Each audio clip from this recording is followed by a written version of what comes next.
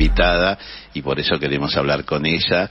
Berenice Yáñez, legisladora del Frente de Todos en la bancada en la legislatura de la Ciudad de Buenos Aires, formó parte de la Junta Intercomunal de Tres de San Cristóbal, la banera San Cristóbal, eh, tiene mandato entre el 2001, eh, perdón, 2021 y el 2025 y tuvo un juramento hermoso por la Santa Federación. Es más, acá la, la eh, dicen este, ultra kirchnerista, lo que significa que para nosotros es maravillosa, y este, integrante de la cámpora. Yo me he sacado varias fotos a lo largo de los años con la cámpora, porque los veteranos de guerra no quieren sacarse fotos con la cámpora, porque no sé qué carajo tienen, son problemas de ellos. Yo lo que veo es que cuando ve la bandera de Malvinas, son todos de la cámpora. Eh, las otras agrupaciones no ponen Malvinas en la, en la bandera, pero es algo real eso, ¿eh? Y yo siempre digo, eh, me acuerdo la última vez, el, eh, ¿qué fue? Uno de los de las este, concentraciones iban con una bandera enorme con las Malvinas. Maravilloso. Entonces, ¿cómo yo voy a irme? ¿Qué, quiere me vaya con el PRO hacia una bandera de Gran Bretaña? Perdón, no, yo no es que quiera, yo sé que vos este, estás en política, y, pero para nosotros eso, eso que hacen es muy importante. ¿Mm? Y además una defensora del nacionalismo latinoamericano que también es importante. ¿Cómo estás, Berenice? ¿Qué tal? Buenas noches. Hola, Héctor. ¿Cómo andas? Buenas noches. Hola, Gaby. ¿Cómo andan? Gracias por la invitación. Y sí, somos todos malvineros en la cámpora. Por supuesto, y por eso estamos con ustedes. Yo cuando inauguraron el Museo de Malvinas estuve con la cámpora de Quilmes, me saqué una linda foto ahí con ella. Este, ¿Qué te iba a decir? Y cuando me pregunta, digo, y, pero son los únicos que tienen las Malvinas en la, bandera. Puede ser que algún grupo de izquierda también lo tenga, pero son los únicos. O sea, yo no sé por qué los radicales no la tienen, no, tiene sentido. Se supone que los radicales tenían una historia. Mira, ahora voy a mostrar una imagen, pues estamos en YouTube, que es la... Este, lámina donde está lo del Día de la Mujer, que estuvimos hablando eh, de su origen y demás, y donde están las mujeres argentinas, muchas de ellas reconocidas históricamente, eh, en eh, la lucha por los derechos, no solamente los derechos de la mujer, también por los derechos sociales de todos los argentinos, por la independencia, y destacábamos acá a Estela de Carlotto, esta que es una construcción así artística donde está la mamá de un compañero caído y pareciera que viniera el espíritu del compañero caído en Malvinas a saludarla, eh, la submarinista que murió en el Ara San Juan y nuestra Cristina, defensora de Malvinas. Este, y esto, bueno, fue parte de nuestro homenaje. Estuvimos explicando, ¿viste? Porque hay una confusión, Berenice, vos esto la debes saber. El día, el 8 de marzo, es por 1857 que fue la este, manifestación de las trabajadoras textiles en Nueva York por la explotación que había y dice que hubo represión y que mataron a 120. Y después está el color, el color lila. Y ahí viene el, otro tema de 1911 que fue la fábrica que se quemó, que estaban las trabajadoras, que murieron muchas de ellas, que habían cerrado la puerta para evitar que hubiera robos y, bueno, fue un desastre. ¿Qué? Sí, sí, sí. Así que, bueno, ¿cómo pasaste el 8 de marzo? Y bueno, este 8 de marzo fue eh, un día especial porque el 9 de marzo también al día siguiente recibíamos los fundamentos de la sentencia del juicio a nuestra compañera y nuestra referente Cristina.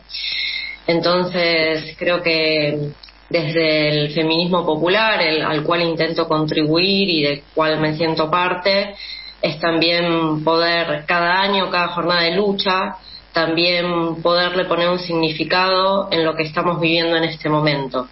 Y creo que la persecución política Cristina, la persecución judicial, el intento de proscripción, también tiene mucho que ver con su condición de mujer eh, los poderes que, ha enfrentado durante su primer mandato, en su segundo mandato, también lograron durante todos esos años una, una persecución, una estigmatización y conductas muy misóginas con respecto a Cristina en cuanto a su condición de líder eh, y referente de un proceso histórico, de continuidad de un proceso histórico tan grande como es el peronismo. Entonces a mí me gusta también eh, el 8M reivindicar fuertemente a nuestras compañeras. Creo que la reivindicación de nuestras compañeras, incluyo en ellas a Cristina, tiene que ver con la construcción de un feminismo popular que tiene luchas concretas, además de obviamente todas las consignas que, que han abonado a, la jornada del 8M. Eh, pero bueno, nada, eso también significó un, gran debate con, las organizaciones del movimiento de mujeres y demás, que luego de la marcha nos dirigimos a tribunales, que se hizo una vigilia, eh, que la vigilia fue en ese lugar específico, no solamente porque al día siguiente se se iban a publicar los fundamentos de la sentencia, sino que porque también es parte de las reivindicaciones del movimiento de mujeres, eh, del feminismo nacional popular, el poder construir y el poder eh, luchar para la construcción de una justicia democrática y feminista. Eh, me parece que se entroncaban las luchas y que estuvo bueno, ¿no? además de la movilización histórica que viene siendo estos últimos años y que ha cobrado una mayor masividad, producto de, la militancia de todas las compañeras, me parecía muy bien que además pusiéramos un poco de relieve lo que estaba pasando con una de las mujeres más importantes de las últimas décadas de la historia de nuestro país. No me cabe duda, yo tengo dicho que es el personaje político más importante de los primeros 25 años del siglo XXI en Argentina, pero lo es históricamente. Vos sabés que a mí me gusta mucho la historia, estudio historia desde los 10 años, para decirlo, he visto la línea liberal y la, la rosista también. Y, y, haciendo un análisis histórico, es un personaje determinante de nuestra historia, así como lo fue Perón yo lo digo, un peronista por ahí eh, más típico me mata por eso, pero bueno, lo lamento. Yo soy un hombre del siglo XXI. y, y, sí, y la estigmatizaron mucho, me acuerdo de las revistas de esta noticia, era una porquería eso, a mí me daba vergüenza. Sí, fueron muchísimas tapas, muchísimas tapas que hicieron referencia eh, en esto de justamente lo que decíamos, de su condición de mujer, tapas con respecto a su salud mental, tapas con respecto a su condición de, género, tapas con respecto a um, cuestiones de, de, un goce político. Bueno, nada, están todas las tapas, principalmente la revista Noticias, claro. ni hablar de las tapas de Clarín, lo que pasa es que la revista Noticias, bueno, Cristina, no sé si se acuerdan el dibujo de Cristina con la cinta, eh, va, con, señalada con la cruz en la boca silenciándola. En estos años fueron muchas las tapas, las noticias y demás, que, que bueno, que obviamente es, es encarnizado contra, contra Cristina, pero que en realidad es contra todo nuestro pueblo, ¿no? Y con, contra un destino que, que se quiere construir a lo largo de todas estas décadas, ¿no? Que tiene que ver con, con la soberanía política, con la independencia económica, con la justicia social. Y bueno, y en este momento el reivindicar ¿no? Eh, su rol, pero a partir de lo que se hizo en su momento, de lo que le, se dio continuidad y sobre todo también de, los momentos o de las luchas que, que estamos atravesando en la actualidad y que son también las que se van a profundizar en un futuro inmediato que son puntualmente las que tienen que ver con la soberanía política y la independencia económica en cuanto a a la relación de nuestro país eh, con el Fondo Monetario Internacional eh, y la cantidad de, compromisos económicos asumidos y de la manera en que se han asumido esos compromisos y en ese refinanciamiento de la deuda, porque no fue una reestructuración, fue un refinanciamiento que, realmente también va a poner en peligro y está atentando incluso en, en la actualidad y en tiempo presente nuestra soberanía política. Eh, nuestra soberanía política en cuanto a nuestra capacidad de, de que seamos los, eh, el presidente que elegimos o las autoridades que elegimos quienes nos gobiernan, pero también incluso en la defensa de nuestros derechos naturales y estratégicos. Eh, creo que todo tiene que ver con todo, aunque los medios de comunicación traten de, de poner en compartimentos estancos cada una de estas discusiones y de hacer invisible el hilo conductor de, un proyecto de dependencia que se viene instalando, que trata de instalarse históricamente en nuestro país. Existe, es obligación nuestra correr ese velo, es obligación nuestra organizarnos y es obligación nuestra combatirlo.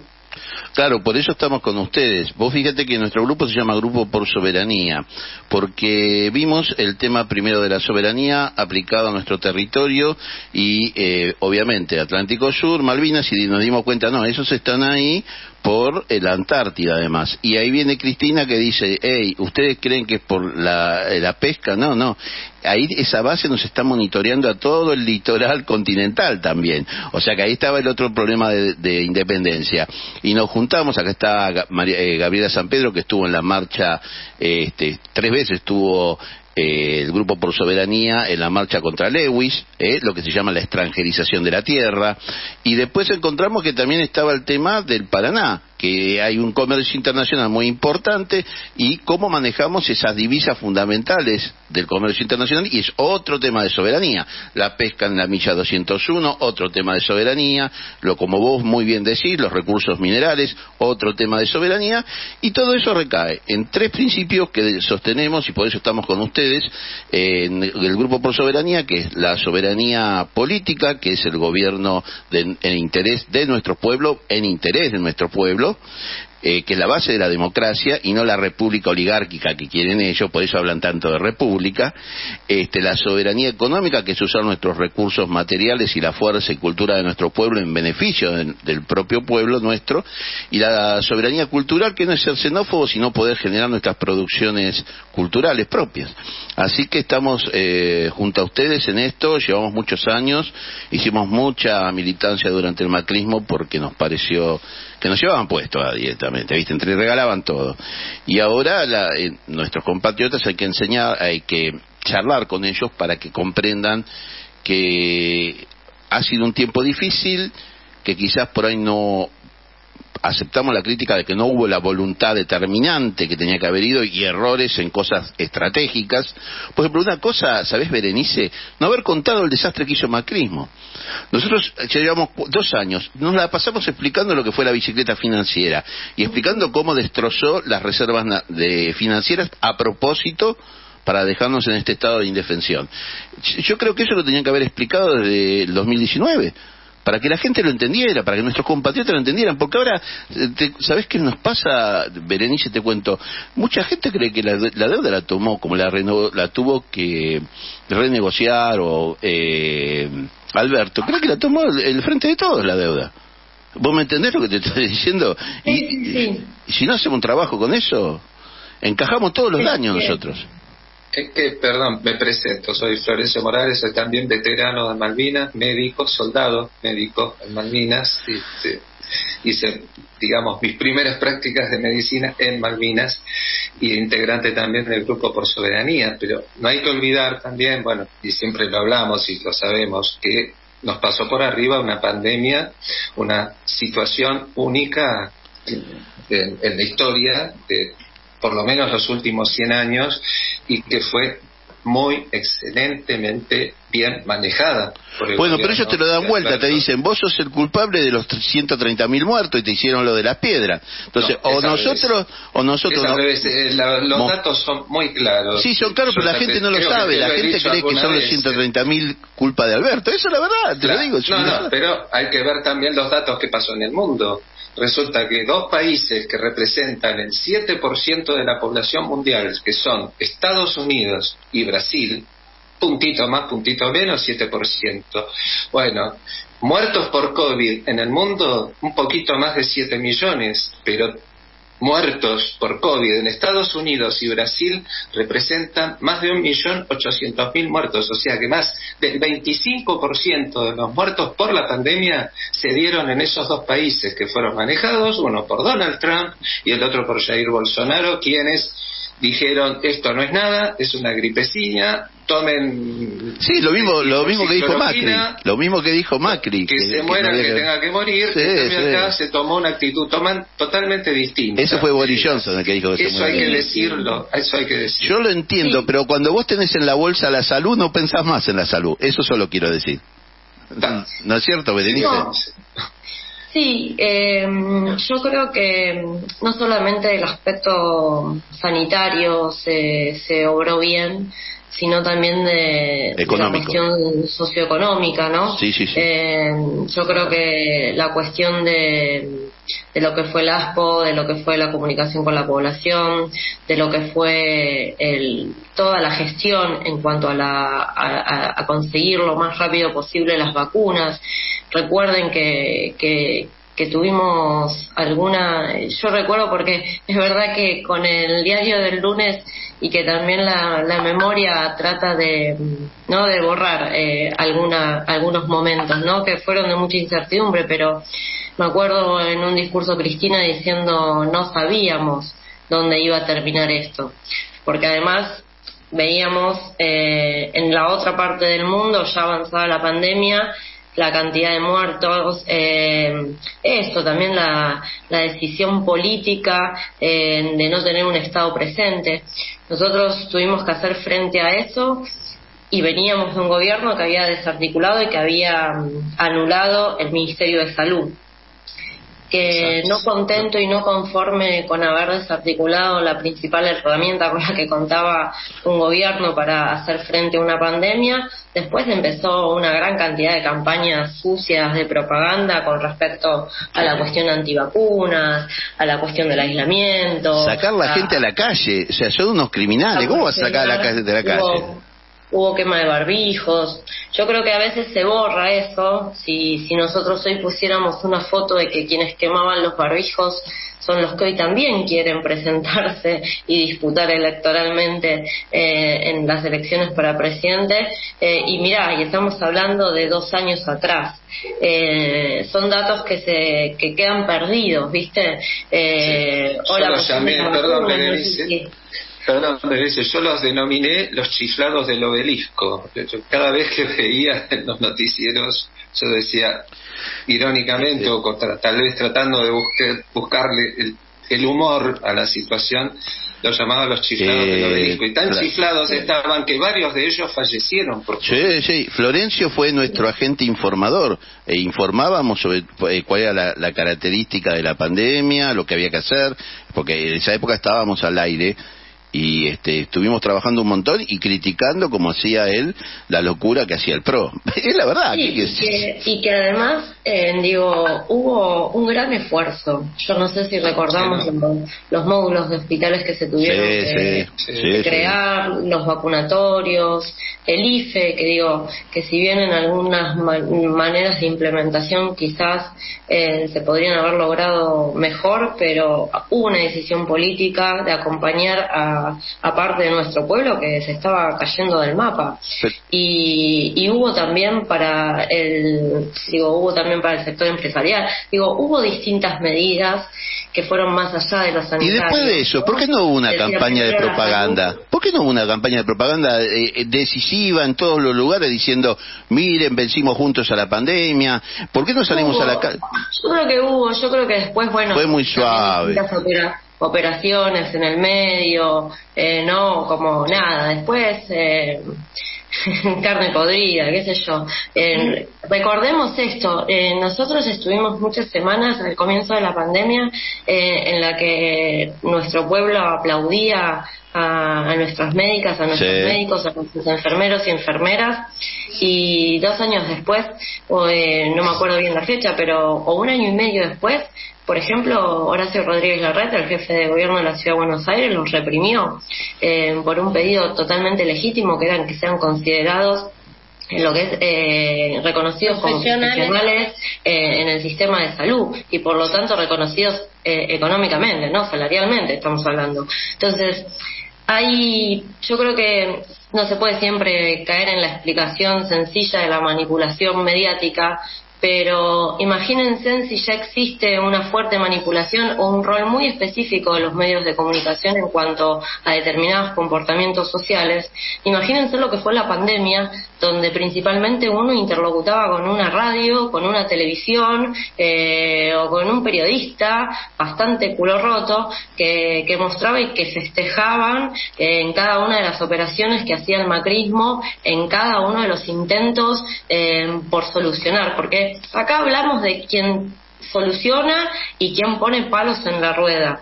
Y estábamos en un momento bisagra, o sea, estábamos hablando de una situación mundial, estábamos hablando de una situación en la que hoy, con el diario del lunes, lo vemos de otra manera. Pero en ese momento no sabíamos realmente eh, en qué iba a terminar o si realmente se iba a poder eh, controlar o qué iba a suceder. Y en ese momento álgido, en ese momento tan crucial, se especulaba políticamente. Entonces, y esto está a la vista de todos también, porque yo no creo que parte de nuestro pueblo coma vidrio, pero realmente es llamativo, ¿no? Y bueno, nada, es la tarea también de, los militantes y de las militantes eh, poder siempre mostrar estas contradicciones o lo que a veces uno lo puede analizar, lo comprende porque tiene determinadas herramientas, porque también tiene ámbitos colectivos, ¿no? Sobre todo ámbitos colectivos eh, que puede hacer un análisis o que puede caracterizar en cómo actúan los distintos grupos económicos en Argentina, cómo actúan sus representaciones políticas, pero bueno, es tarea del militante dar todos estos debates eh, en cada uno de los lugares en los que sea posible y en los que no sea posible también, en los medios, en la calle, en las escuelas, en los clubes, en las cooperadoras. Eh, es uno a uno, o sea, eh, y me parece que, que a veces uno dice, bueno, pero quizás el gobierno, ¿cómo no hizo una propaganda? Yo recuerdo que siempre históricamente nosotros nos reprochamos la cuestión de, la comunicación con, el conjunto de, la población de nuestro pueblo. Y, yo creo que lo que mm, tenemos que poner en mucho valor, en mucho valor, eh, son aquellos argentinos y argentinos invisibles, invisibles, que pechearon la pandemia, que se la pusieron al hombro, que juntaron Morphy, que hicieron ollas populares, que ayudaron a la gente a inscribirse en el IFE, que acompañaron a los adultos mayores. Hubo un gran sistema, digo, porque estuvo eso, pero también después hubo un, afianzamiento de lazos solidarios en nuestro pueblo que siempre se invisibiliza y que la verdad que uno no le puede pedir a TN que lo ponga en valor. Lo tenemos que poner en valor a nosotros porque fue las buenas decisiones del gobierno, pero fue nuestro pueblo, fue también nuestra militancia la que permitió eh, salir adelante. Siempre todo recae en el esfuerzo de cada argentino y cada argentina. Son las buenas decisiones de un gobierno, las que sí fueron aceptadas, que yo creo que la pandemia es uno de, los principales logros que, tuvo el gobierno del Frente de Todos. Pero sobre todo hubo un pueblo que, acompañó, que acompañó muchísimo y que eso es muy invisibilizado permanentemente, ¿viste? Eh, imagínense que después de la pandemia todas las discusiones en cuanto a, a las tareas sociocomunitarias, al, reconocimiento de las tareas de cuidado, eh, todavía hoy seguimos discutiendo su importancia. Y tuvimos una pandemia en el medio que las pusieron en la superficie que nos la que se nos enrostró en la jeta y todavía hoy hay que estar eh, argumentando eh, el lugar importante que tienen las tareas de cuidado y el reconocimiento estatal que deberían tener eh, a partir de políticas públicas estas cuestiones. Entonces qué sé yo o sea eh, siempre eh, los enemigos del pueblo van a, van a operar a partir de sus intereses. Y mientras se empobrecía gran parte de nuestro pueblo, hubo sectores de la economía argentina eh, que se enriquecieron. Bueno, el aporte de las grandes fortunas que se sanciona el 17 de noviembre es un poco también eh, eh, la demostración, ¿no? Che, loco, bueno, en la pandemia eh, hubo obviamente un, parate de, la actividad económica que impactó muchísimo en todos los sectores de, nuestro pueblo, pero también hubo un sector minoritario que se enriqueció muchísimo, que abonó a la especulación, ¿no? Y, y, también hubo un sector que se llenó los bolsillos y que después fue una pelea también plantear, bueno, en que se aporte. Sí, sí. Que se aporte y que se aporte con un destino determinado. Y hay que saber de dónde viene la plata, porque está bueno ponerle nombre, ¿no? A, eh, a esa oligarquía que siempre se esconde tras bambalinas ¿no? A ese sector financiero, a ese poder económico financiero concentrado que ha ganado en hegemonía en los últimos 40 años de nuestro país, ¿no? Porque destruyendo un modelo industrialista y siendo hegemónico, ¿no? Como grupo social. Y hay que también ponerle nombre a, esas personas. Entonces. Acá lo hacemos, ¿eh? Le llamamos procambiemos y libertarios, pero porque tenemos libertad de opinar. Somos así, ¿viste? Pero, pero bueno, son todas nuestras tareas, ¿no? Clarín, lo que vos quieras decir. militantes y los militantes. Clarín, Bujibor, este, Dreyfus, cuando hablamos del litoral, o sea, los nombramos a todos. Yo antes de darle el pase a Gabriela, quería decir que, ¿sabés que me acordaba escuchándote, eh, tal cual decías? Al infeliz del hijo de Leuco festejando la cantidad de muertos. Yo eso no me lo banco. Eso es de mal bicho mal. Eso no se hace, no se festeja la cantidad de muertos. Y por contraposición a la compañera que trabajaba en un comedor que murió, ¿te acordás? De COVID, trabajando. Vos fijate qué diferencia, forma distinta de ver nuestra Argentina, ¿no? Para uno es un lugar donde sacar recursos y no le importa lo que le pase al pueblo, y la otra murió trabajando para la comunidad. Y nosotros trabajamos con Ricardo Solé, que es veterano de guerra, en la Comuna 4, eh, también llevando elementos de higiene y de, o sea, también trabajamos en eso, por eso lo entendemos todo lo que vos dijiste. Sí, ¿qué querías decir, Gabriela? Perdóname.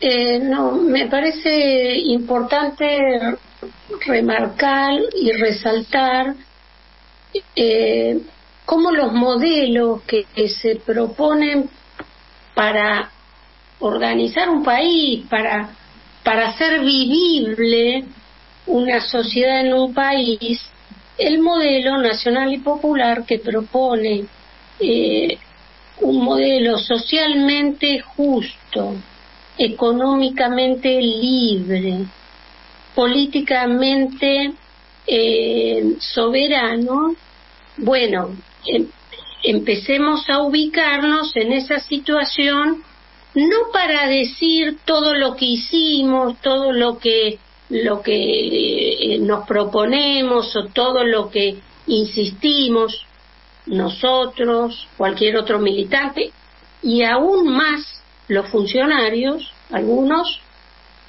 de una manera o de otra, con errores y con aciertos, pero ¿cuál es el modelo que a uno se le representa como posible y vivible en lo personal.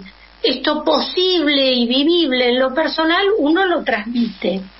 En general, como decimos nosotros y como bien lo señala Berenice, hay anonimato, hay anonimato de los ciudadanos y anonimato de los funcionarios, porque muchos no sabemos exactamente lo que hacen diariamente. Y aún los que sí tienen eh, la responsabilidad de ejecutar una, una política pública como, como el presidente o la Cámara o aún la justicia, hay muchos que no sabemos y hay muchos que sí, porque tienen una alta responsabilidad y no se puede evitar. Entonces enseguida se dice, ay Alberto, ay Cristina. No, no. Y me parece muy interesante lo que marcaba Denis del 8, del 8M, porque la política, a mi gusto y a nuestro gusto, y, y en parte este, de, de, de la militancia lo piensa así, y de los funcionarios también, hay que ubicarse en la realidad en lo diario. Entonces, ¿qué es lo diario que está pasando? Y tenemos una situación este, de un juicio y un funcionamiento este, eh, de, de la justicia que está por fuera de la situación legal, sea Cristina o sea cualquiera, porque a cualquiera nos puede pasar. Pues bien, pusimos en el centro la situación de Cristina Fernández de Kirchner porque es esta la actualidad y es esta un punto de representación para todos. El esfuerzo que tiene que hacer a mi gusto y a nuestro gusto y al gusto de las necesidades ciudadanas es que la política, cuando va a dar una opinión para compartir, para hablar, para crear grupo y organización, que es esto que ayuda a la reflexión, como decía Berenice, tiene que apoyarse en las situaciones presentes, actuales, urgentes, este, y eso, esa situación es un buen camino para la amplitud, ¿no? Para, para pensar ampliamente. ¿Qué significa socialmente justo, económicamente libre, políticamente soberano? Este, en este sentido, me parece que eh, situaciones como el 8M, como la vigilia, como este acto que estuvo en Avellaneda, que si querés nos podés comentar algunos ejes, ponen eh, en la vista, muestran lo que es la capacidad organizativa y organizada, ambas cosas, de la ciudadanía. Eh, sí, mira, yo lo que quería decir era que este es un programa que hacemos veteranos de la guerra de Malvinas y compatriotas, este, compatriotas verdaderamente patriotas, y por eso para nosotros no hay duda de que el lofer o guerra jurídica es un instrumento de dominación hemisférica que se cocinó en Estados Unidos, que lo han bajado a Ecuador, Brasil, Paraguay y a la Argentina, que la víctima actual y que quiere una democracia por esa vía, o sea, la sentencia y el fundamento son dos actos políticos de proscripción, punto. Así lo presentamos acá. Así que en eso estamos totalmente de acuerdo. Quería mostrar una lámina, porque sabes que estamos en YouTube y tenemos que ir armando todo así. En esta lámina está una, eh, una remera británica y dice no use la bandera del pirata y una de Estados Unidos que dice no use la bandera del imperio, usa la mejor de todas, la tuya, loco, dice, ¿no? Que es algo que la, eh, la Cámpora ha apoyado. Y por eso te llevamos un proyecto que esperemos que eh, los argentinos de bien lo impulsen, que es para desgravar eh, los, a los comercios que promuevan la venta de ropa con la bandera de nuestro país, la celeste y blanca, que nos representa a todos, que ese es el símbolo, es el pueblo argentino.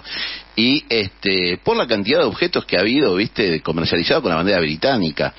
Y, y que pero que sea real ¿viste? no solamente que el gobierno que el comercio tenga unas unas remeritas con la bandera argentina sino que promueva que la compren. Y ahí así como promuevan que, que, que por, por moda han promovido la otra viste. Y acá muestro la lámina en YouTube de, de esa iniciativa que te hemos llevado porque sabemos que vos levantás esa bandera.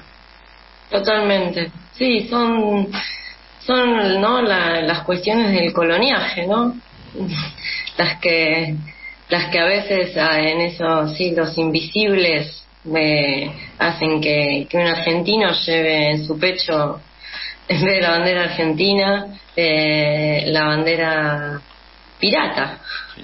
Eh, pero bueno. Berenice, disculpame, recuerdo haber caminado por Río y, y, ver un negocio de ropa que se llama United Kingdom of Ipanema y, la, y los símbolos eran todos británicos.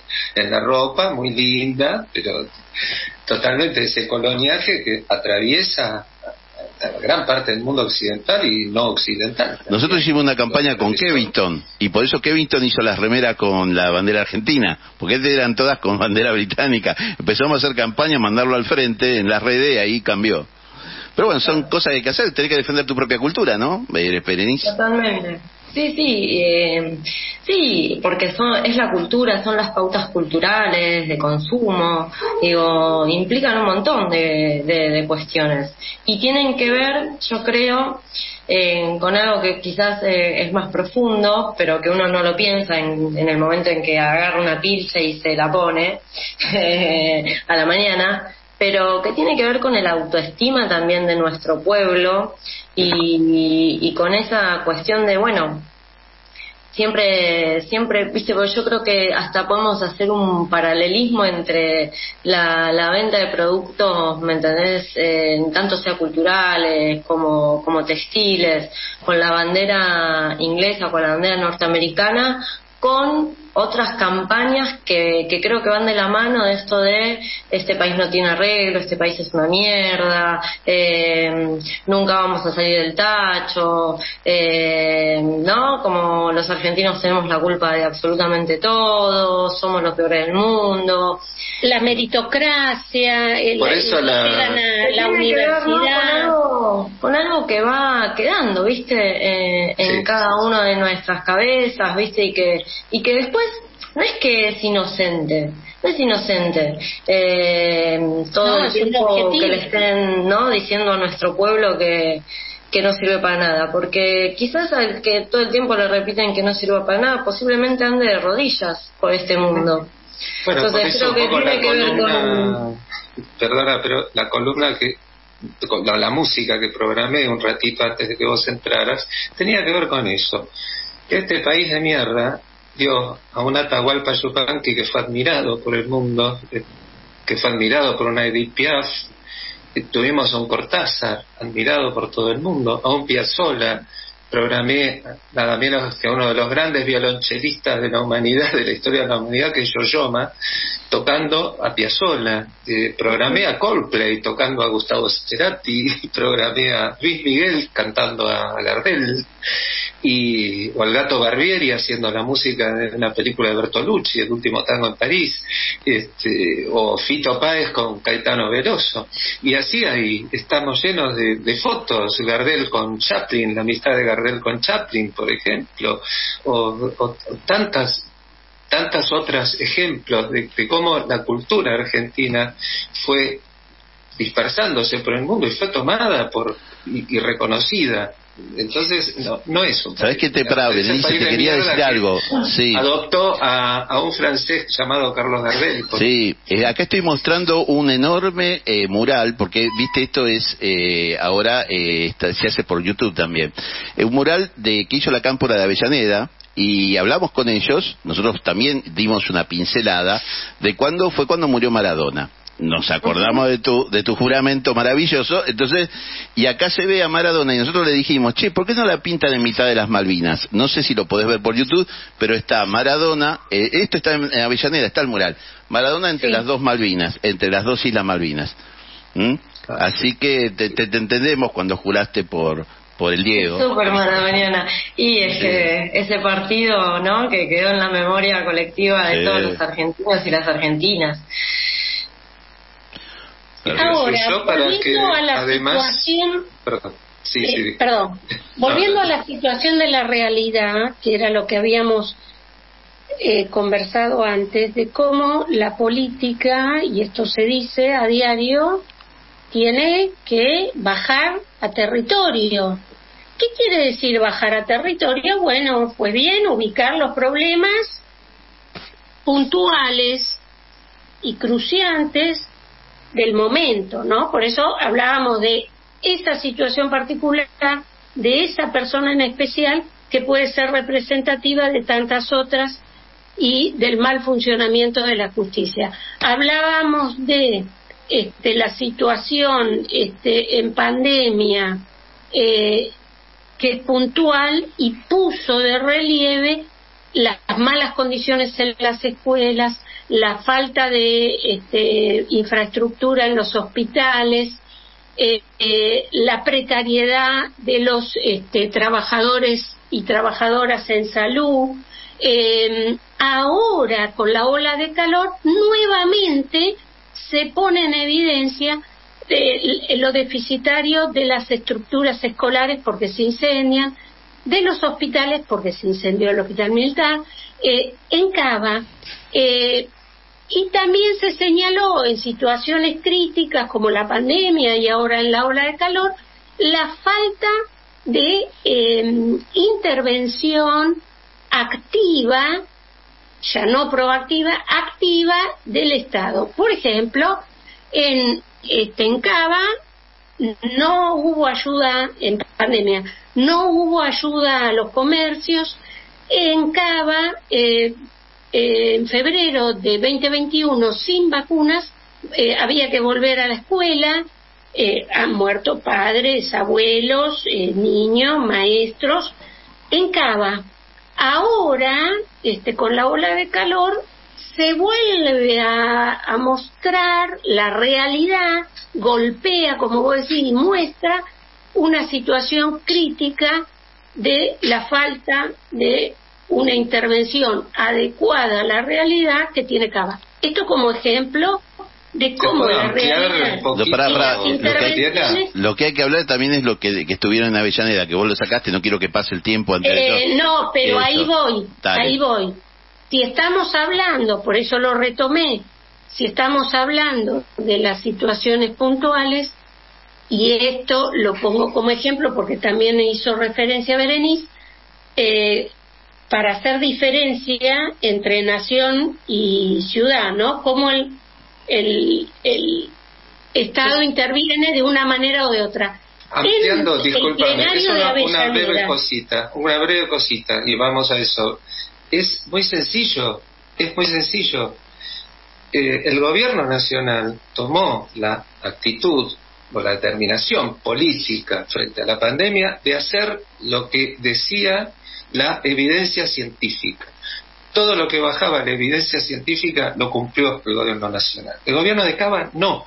En el momento que abrió la, la escolaridad, en aquel momento que vos mencionaste, Gabriela, todas las publicaciones médicas prestigiosas eh, mostraban notas escritas por gente de lo mejor del mundo en, cuanto a salud pública que decían no se debe abrir la escolaridad y si se abre tiene que, que darse determinados protocolos que acá no se cumplió ni el 10% de esos protocolos. Así que si eso hicieron en medio de la pandemia cuando había, no sé, un 2% de la gente vacunada, ¿qué podemos esperar para el resto? Y con esto ya este, yo me voy despidiendo. Bueno, Berenice, te escuchamos sobre lo que pasó en Avellaneda, que nos interesa. Eh, bueno, nada, fue el plenario de la militancia, eh, bajo la consigna Luchi vuelve, Cristina 2023, y la verdad que la evaluación, bueno, ese día, bueno, ese sábado hizo muchísimo calor, eso fue lo, el único dato que, que no estuvo tan bueno, porque hacían como 40 grados de calor, pero a pesar de, del calor que hacía, eh, la verdad que fue una jornada eh, con muchísima militancia. Eh, que eso es el primer punto que a mí me interesa señalar porque porque a partir de todo también lo que veníamos describiendo, ¿no? de lo que implicó la pandemia, de lo que implicó las fuertes contradicciones en las que en las que estamos inmersos como fuerza política en cuanto a, a, la quizás dirección equivocada eh, en la resolución de algunas cuestiones de gobierno. Eh, a pesar de todo eso, era como que la fuerza política nuestra, sobre todo la militancia, eh, venía un poco desarticulada y, venía un poco como de capa caída y no teniendo, no pudiendo desarrollar un papel más protagónico que, que debe tener y que, y que tiene y hace mucha diferencia cuando aparece en lo que es la política general y en lo que respecta a nuestra fuerza política. Entonces, en principio, destacar que fue eh, un encuentro de la militancia muy masivo, donde participaron compañeros de, la ciudad de Buenos Aires, obviamente muchos compañeros de la provincia de Buenos Aires, pero también compañeros que, viajaron muchas horas eh, de muchos rincones de nuestra patria. Entonces, primero poner en valor eso, que, la militancia se vuelva a juntar eh, y que se vuelva a juntar para debatir y que se y que se establezcan objetivos políticos a partir de lo que nosotros creemos y a partir sobre todo de lo que entendemos que tiene que representar la política y nuestra fuerza política. Y bueno, nada, fue a partir de un documento, hubo 15 comisiones, 15 comisiones donde participó el conjunto de, los compañeros y compañeras que, nos dimos cita el sábado, hubo un documento que se discutió o que fue el disparador de la discusión en cada una de estas comisiones. La verdad que la, la dinámica del plenario era fundamentalmente que que, no haya paneles o que se acaparara la palabra por parte de alguna compañero o compañeros, sino que realmente eh, fuera, fuera un plenario de la militancia donde, donde cada uno y cada una de nosotros aportáramos un poco cómo, cómo la estábamos viendo, cómo entendíamos. Acercarse al territorio. Sí, eh, o sea, en realidad estamos en el territorio. En realidad es como, yo creo que la política es eh, la gran herramienta, ¿no? De transformación de la sociedad con la que cuentan los pueblos, como, como nos enseñó Néstor. Y creo que dentro de la política tiene que haber un lugar, eh, obviamente, que se, de conducción, como en cada uno de los campos, y cada una de las áreas, y que tiene que ser ocupado por la militancia. Eh, entonces, por esto destaco el valor de la militancia, porque la militancia estos últimos años no, no la pasó muy bien, porque la militancia en estos últimos años, como decíamos antes, eh, estuvo muy invisibilizada haciendo grandes tareas eh, para acompañar a nuestro pueblo, pero también estuvo eh, bastante expectativa, bastante corrida eh, de la mayoría de las discusiones y con muchísimo nivel de contradicción, porque de la misma manera que, que bueno, que también lo plantea Cristina, de ese pacto electoral del año 2019 que, que nosotros no no pudimos cumplir como gobierno, como fuerza política, como frente de todos, la militancia lo siente, pero no solamente que lo siente, la militancia abre la persiana de una básica todos los santos días. Entonces la militancia es la que pone un poco la cara y da las discusiones y a veces trata de, explicar o de, de encontrar alguna solución, de acompañar, de dar alguna herramienta.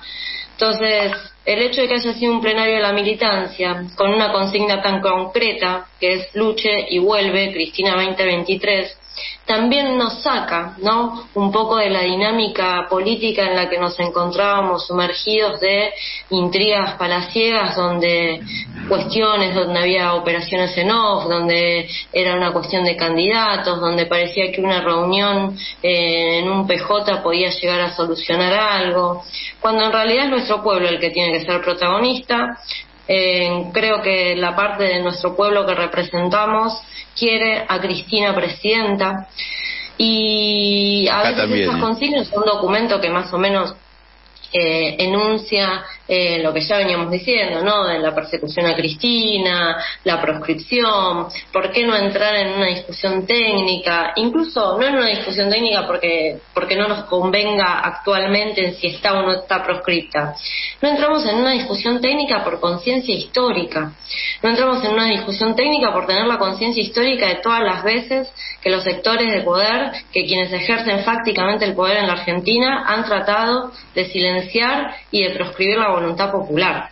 Por eso no entramos en tecnicismos con respecto a si está la sentencia firme o si no está. Porque sabemos, porque Perón eh, podía volver a la Argentina. Sí, Perón podía volver a la Argentina. También eh, pusieron un montón de trabas. Digo, ahora, eh, que este momento también nos lleva a determinadas lecturas. Hay muchos libros eh, en este momento, Conocer a Perón, el otro 17, que nos da un poco la pauta de, de, cómo funcionó, cómo fue el desenlace de esa proscripción y cómo la lucha organizada de un pueblo durante 18 años permitió traer de vuelta a la Argentina al general Juan Domingo Perón y convertirlo nuevamente en presidente. Eh, y la verdad que el plenario rondó eh, a partir de esa consigna y que es una consigna muy contundente, es lucha y vuelve, se nos llama a la militancia otra vez a volver a ocupar un lugar en la calle, un lugar de representación, un lugar de organización y un lugar eh, de, combatir también, porque es lucha. Entonces también nos da un escenario en el escenario en el que estamos. Y ah, después otra consigna que, que si bien a veces parece que simple, eh, la simpleza no, no es lo mismo que la síntesis. en Cristina 2023, para, para todos los que estábamos reunidos el sábado, es la compañera que representa eh, la esperanza, que, que representa la posibilidad de volver a reconstruir nuestra nación, a volver a poner a nuestro país en el rumbo en que lo habíamos dejado en el 2015, pero esta vez con un gran nivel de movilización.